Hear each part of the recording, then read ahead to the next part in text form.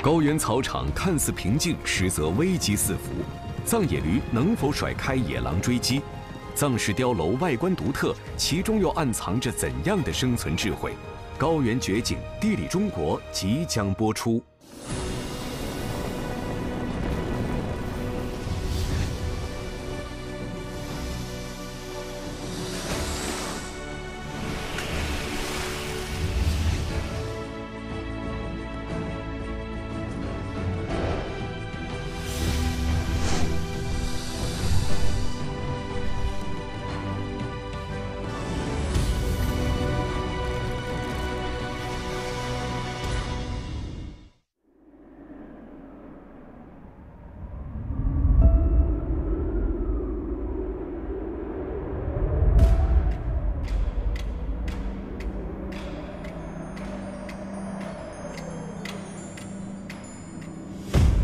青海果洛，一方巴颜喀拉山与阿尼玛青山之间的高原净土，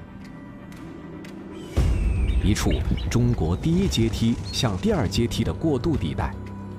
高海拔的自然环境，经历了上亿年时间的演变，造就了这里多样的生态。雪山融水汇聚成河，从山间流下，滋养了一望无际的草场。切割了高低错落的峡谷、草原、森林和峡谷，高原季风吹过不同的风景，像是演奏一首从古至今的交响曲。这里是生命绽放的舞台，也是人类与动植物的共同家园。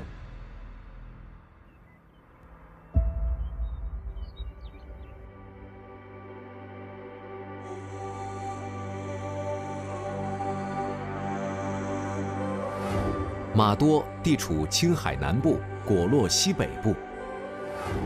全境面积约两万五千平方千米居住着大约一万四千人。地广人稀的马多成为了动植物的乐园。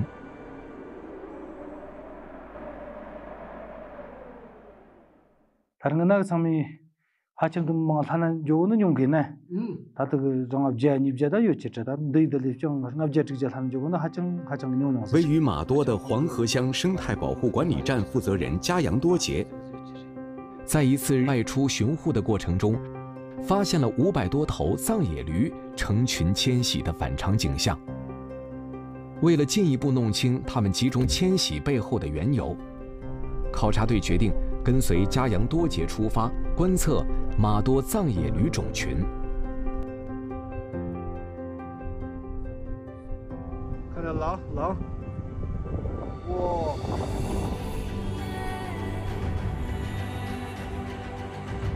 青藏高原生活的狼属于灰狼里的蒙古狼亚种，主要分布于中国北方的草原和高原地区，是一种体型较小的狼，草原上顶级的捕食者。五百多头藏野驴同时迁徙的反常景象，是否与灰狼的出没有关呢？突然，灰狼开始朝着藏野驴快速奔跑起来。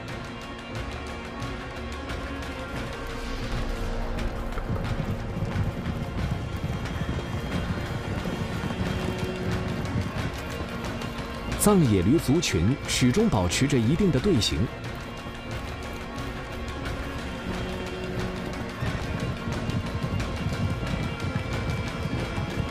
草原天气变化无常，一阵沙尘暴突然卷起。我这镜头抓到了，这个驴它在沙尘暴中没了。藏野驴和灰狼的身影都消失在了沙尘之中，考察队也不得不暂时回到车上。加阳多杰告诉考察队，藏野驴体型比灰狼大许多，只需要三五只藏野驴集体迁徙，基本就可以保证自身安全。因而，上百只藏野驴集体迁徙应该和抵御天敌关系不大。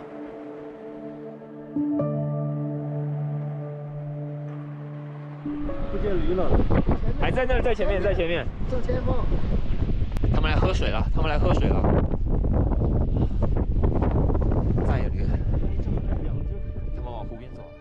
等到尘土散去，考察队在附近的湖边再次看到了成群的藏野驴。他们似乎已经摆脱了灰狼的追捕，开始在湖边喝水、进食、歇息。由于这片区域水草较为茂盛，不过一会儿，聚集的藏野驴数量越来越多。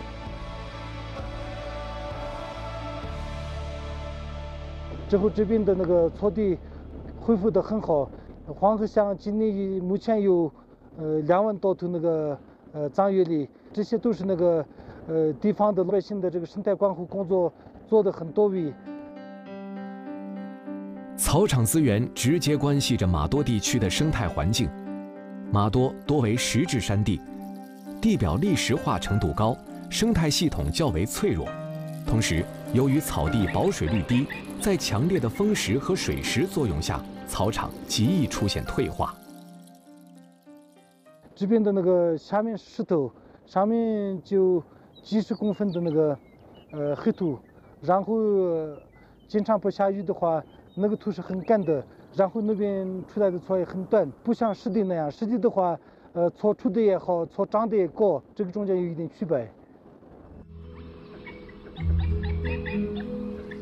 嘉阳多杰告诉队员们，近年来，管护员们通过对草场的选育修复、招鹰控鼠等方法，使受损的草场生态得到恢复与重建，马多植被覆盖度大幅提高。也让藏野驴等食草动物有了丰富的食物来源，所以才出现五百多头藏野驴集体迁徙的景象。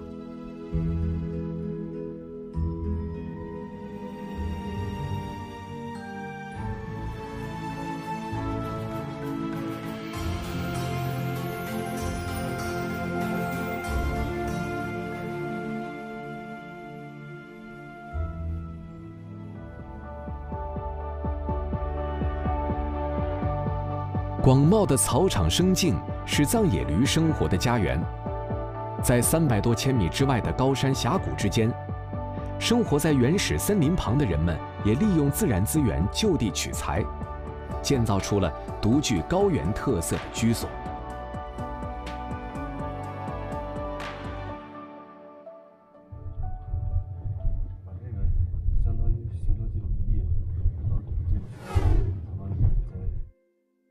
斑马位于青海东南部，地处青甘川三省交界，平均海拔三千六百米。马科河是斑马的母亲河，发源于果洛九治，是长江水系一级支流大渡河正源，经白玉乡流入斑马境内，于斑马县格日泽流入四川壤塘，河长大约二百一十千米，支流几十条。河流进入斑马境内后，流速舒缓，两岸形制相似、规模不同的房屋，就是当地的藏式碉楼。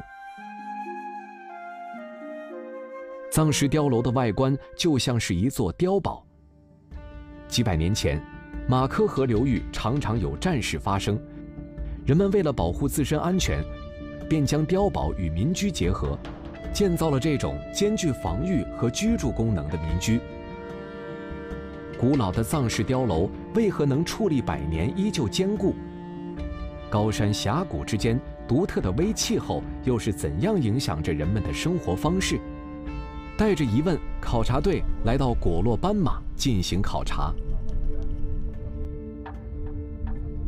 曹明凯是斑马县广播电视台的记者，多年来他记录下许多藏式碉楼的影像资料。乃亥太官寨是他心中斑马最具代表性的传统碉楼。这个是我们斑马目前发现的啊，碉楼里面最高的一层，四层，三层、二层的比较多。这是四层，呃，这个同时也我们经过这个专家的这个考证啊，这是咱们一个部落这个头人，果洛纳哈泰的官寨，嗯，大概距今的话就是四百年了。乃亥太官寨。位于斑马亚尔塘乡，是明末时期当地最大的土司，果洛乃亥泰土司曾经的居所，距今已有四百多年的历史。整座碉楼坐北朝南，共有四层，总建筑面积七百多平方米。走，咱们进去看一下啊。咱们这个建筑，你看所有的这个咱们的这个碉楼啊，斑马碉楼，它有个特点就是底下宽，上面窄，互相之间就是挤压的比较结实的，比较稳定。传统碉楼的外墙普遍建造的比较厚，往高处看去，外墙会按一定比例逐步收敛。当地将这种建造方法叫做收分。收分后的外墙从侧面看呈下大上小的梯形状，这种结构降低了建筑的重心，减少了碉楼本身的自重，加强了整体的稳固性。这个大门很有特色，你看这个大门整个这个这个门的这块是三块原木，从中间劈开以后，从后面加这个毛榫结构弄成这个门。这个木框底下和这个上面这两个木头直接伸的这个墙里的，是石头直接压压压上去的，这样的这个门门框是很结实的，相当牢固的啊。进去小心啊，台阶，台阶还有一点陡的啊。是吧？你看，我给你演示一下这个门是什么是三把锁，是吧？咱们所谓的三把锁，这这是第一把，啊，这个这上面这几乎就是咱们的这个原原树的这个粗度放在这，然后第二把从这插过来，这是第三把，第三把有点特特别，就其他两把都是横的，就一路可以打开，这个第三第三把呢几乎是在二楼主人通过主人它放下来，这个放不下来是吧？嗯，对，现在它是上面卡住了，哎，对，放不下来，开关是的，哎，开开关在上面，它要是平时它就放下来的话，那你这两横一重，这门几乎是不好打开的。即便就是说这两个你打开了，有这一根柱子顶在这，你还是很难开的。从外面往里进是很难进的。同时，咱们再看一下这个门的厚度，这个门的厚度是相当厚的。为什么这么说？这个，你看这块的大概有十公分，再加上外面这层，就是二十公分。你要是放在以前这个就是苹果这个普通的刀啊、斧啊砍是没有一时半会是开不开这个门的。一楼几乎就是没有窗户，就包括那个通风口也没有。它这些通风口就从二楼开始了，因为一楼呢是生畜。呃，养生畜、养牛羊的地方，你看这还有这个养牛羊的痕迹，这是生畜槽，就是撒饲料的，嗯，呃，撒饲料的，对。曹明凯告诉队员们，坚固的三道门锁设计，加上后式的木门，在最大程度上保证了居住者的安全。咱们上啊，侧点手，稍微勾点上，好上啊，侧点。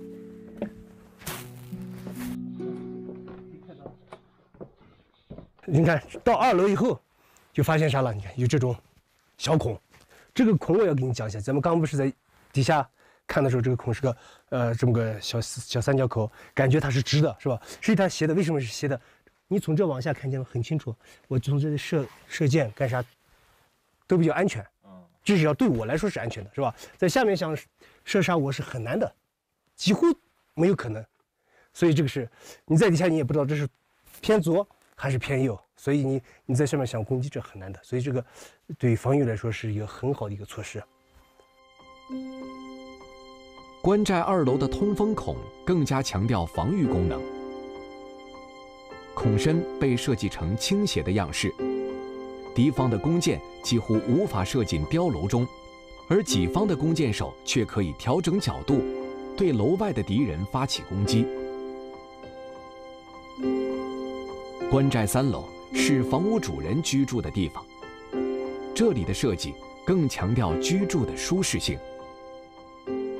然后这里进来以后呢，咱们就可以看出啊，跟现在比较接近的就是窗户了。这个窗户好像比较比下面的大了一些。对比比下面大一个，第二个比较方正。这的话呢，你可能就是要要求美观了，不是简单的一个通气换气的一个功能了。这个窗户还可以设计这个小门，你像没有玻璃的话，你。难免会碰见这个分大分小，这样子的话什么？这可以关上，这个小门就可以打开。同时，你看咱们发现这间房子也特别亮。对。哎，为什么亮呢？你这个窗户第一多了，第二个的话，而且这个窗户也大了。嗯，是这么个。还有一个，咱们这个地板，你看一楼、二楼全是土地，是吧？土的。这你看就已经有铺上木地板了。这样子的话，你坐在这上面又防潮又保暖，坐起来也比较舒适嘛。这个天窗上是排烟的。你看它这个下面是咱们的这个灶具，呃，点起烟以后，这个烟还是比较大的。那烟怎么排烟呢？那只能通过这个天窗，等于像现咱们现在的这个换气扇一样的。这个抽力还是很大的，嗯，抽力很大。这个因为没有烟筒嘛，以前咱们现在是用的烟筒，以前没有烟筒啊，就通过这个来抽烟的啊。嗯，这个阳台呢也比较有意思。为什么说比较有意思啊？它是就是这个，呃，咱们这个林子里的这种柳条，砍下来以后编织出来这种花纹。它有个特点，就是在这往外看是很清楚的，对对。但是从那往里看，几乎看不见这里面是不是这有人没人看不到的。嗯。它还有个意思，就是这个窗户，你看，它整个这个窗户都是毛榫结构，没有一颗钉子，也没有一个螺丝，也没有现在的什么荷叶，就通过这个棍子这么一支就打开了。嗯。所以这里的话，夏天乘凉啊，哎是比较好的。出于对空间利用的考虑，三楼通往四楼的楼梯变成碉楼中常见的独木梯。曹明凯告诉队员们，这种独木梯看似危险，实际上却有特别的攀登技巧，可以保证安全。这个梯子不是这种这样上的，这样上就到正面上到是很容易绊倒，而且也很难上。这个梯子是这样上，你看，整个脚就踩上去了，就很很。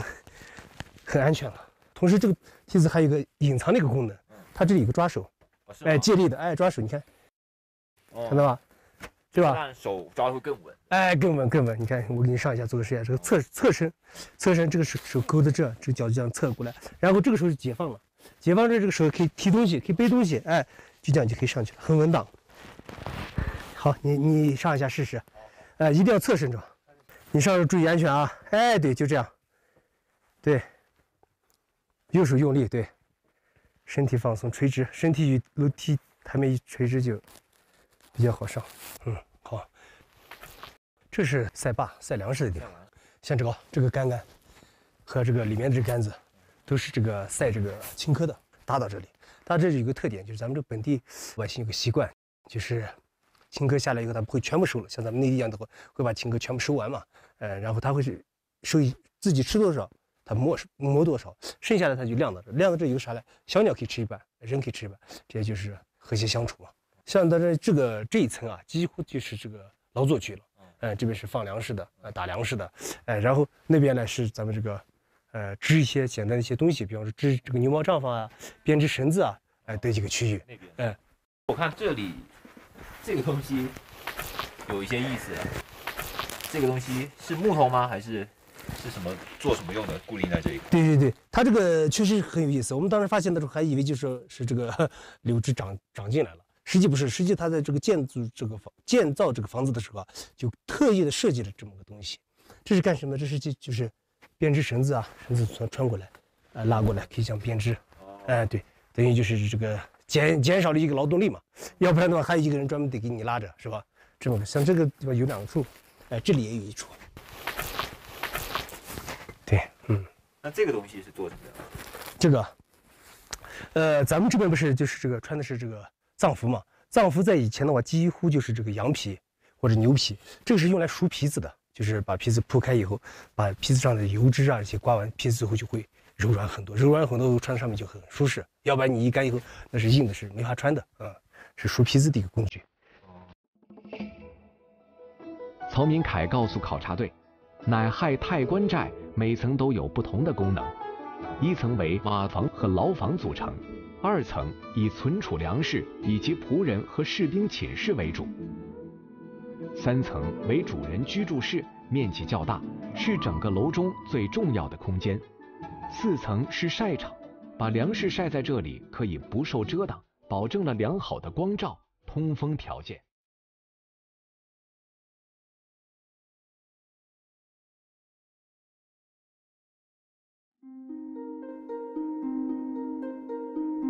依山而居，傍水而生。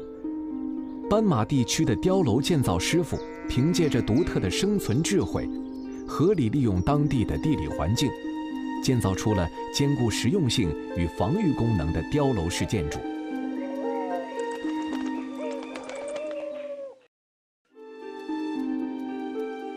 曹明凯告诉考察队，像这样的百年碉楼，在当地还有许多。然而，它们大多数都已无人居住，年久失修。坏的不行了。就是，这要好长时间都可能。他这房子是他当年自己砌的。为了对这些老碉楼进行修缮，曹明凯准备拜访斑马灯塔乡著名的碉楼建造师傅果洛哲球，寻求帮助。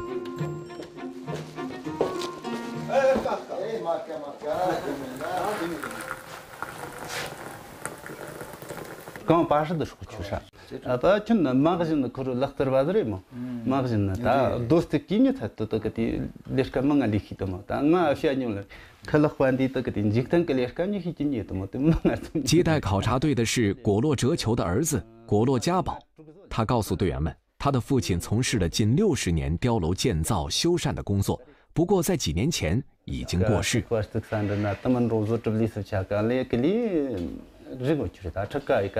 果洛家宝向考察队解释，他父亲生前有六七个徒弟，其中马干斑马家的碉楼建造水平比较高，现在。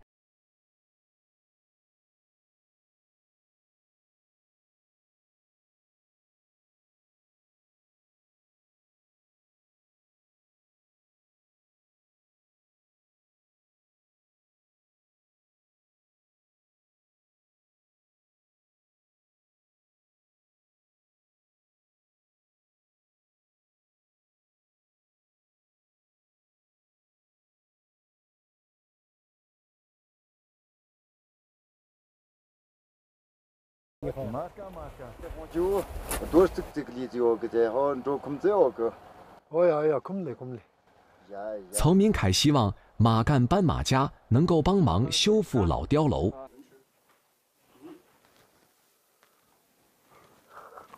啊，他都是每年的那，肯定考啊的，那人就全部的热特说考有的，对对，这个这个热水就那个好嘞，对对那个那的咯。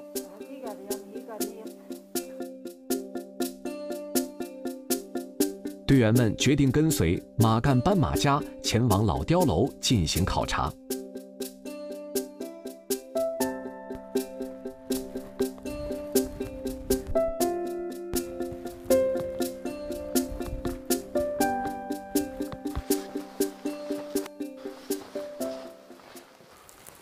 不是的这个下个当地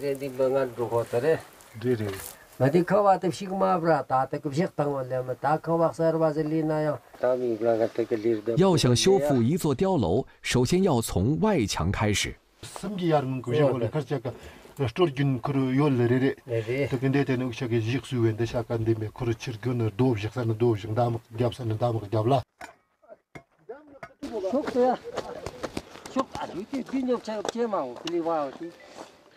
想要将尺寸不一的石料、木料固定在一起，还需要一种古老的材料——黄泥。黄泥是一种粘性很强的材料，由黄土、水。青稞纤维等材料混合制成，能够加强石料之间的连接性。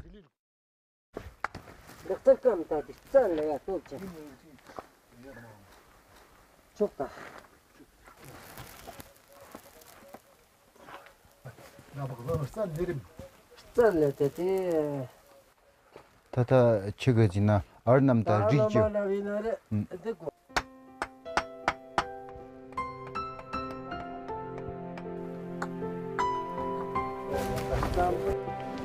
알도 주주스 도 주주 도 그만 도 따로 그 성직 碉楼的建造与修复，并不是一朝一夕能够完成的工作。碉楼的选址、材料的制作、运输，都需要大家共同参与才能完成。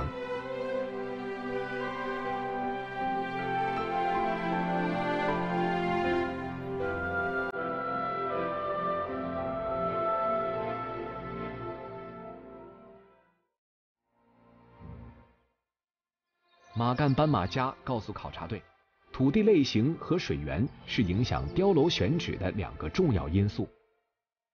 青海地形以盆地、高原丘陵居多，全省无湿润环境，省内百分之九十的地区都属于干旱半干旱气候。马科河流域丰富的水量为这里村落的蓬勃发展提供了绝佳的物质条件。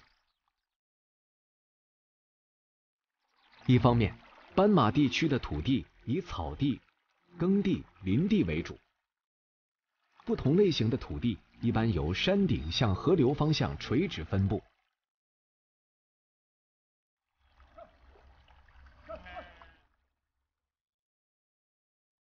山坡高处生长出来的牧草虽然矮小，但非常茂盛。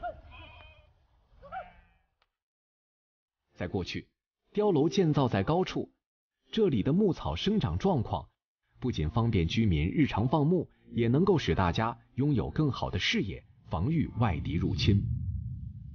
另一方面，马科河流域是青海水资源十分丰沛的地区之一，村落虽然靠近水源，便于用水。但是每到夏季汛期来临，时常会出现连续的阴雨天气，很容易遭到洪涝、山体滑坡等灾害侵袭。所以，人们依据地形特点，通常将碉楼建造在山坡或者河谷中相对平缓的台地之上，始终与水源保持一定的距离。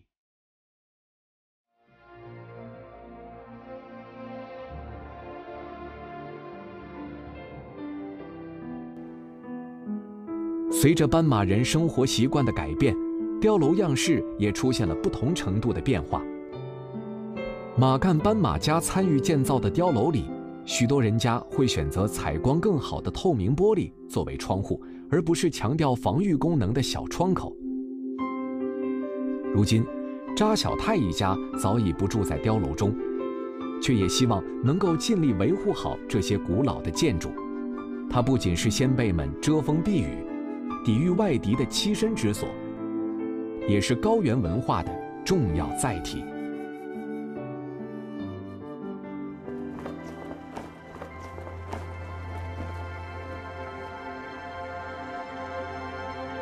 马科河两岸的碉楼，既是人们的居所，也是高原文化与历史的凝结。而矗立几百年的果洛乃亥泰官寨，之所以能够保存完好，离不开当地居民对传统文化的珍视和守护，也离不开碉楼建筑师傅们以世代相传的技艺和智慧，使这座古老建筑依旧保持着强大的生命力。从高耸入云的雪山和冰川，到宽广的高原草甸，再到深邃蜿蜒的高山峡谷，果洛见证了生命的顽强与力量。也向人们展示了多姿多彩的生态环境与生态平衡的重要性。在同一片天空之下，人类与动物相互依存、彼此依赖，共同守护着这片高原净土。